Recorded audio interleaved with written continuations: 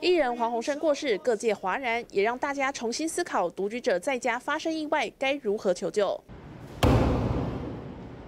周重摔下手表，立刻跳出通知，确认是否真的跌倒。如果一分钟内没有回复，系统就会自动打给一一九。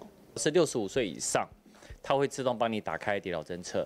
但如果你是六十五岁以下的话，你要自己到设定里面呢去打开。我自己来讲的话，它曾经跳跳出来，一共跳了三次。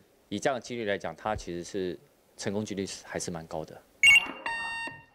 好，守护中心，洗缸我是不是要倒沙缸嘛？好。亲切问安，各县市政府针对独居长者提供紧急救援系统，二十四小时待命。以台北市来说，通报案件以身体不舒服最多，其次就是跌倒。食物上的服务确实也会，呃，一个浴室是比较容易发生意外的状况。除了紧急救援系统，也有那个电话的关怀问案。科技辅助降低风险，还要加上你我多一分关怀，双管齐下，避免憾事发生。大新闻高于梁家明台北报道。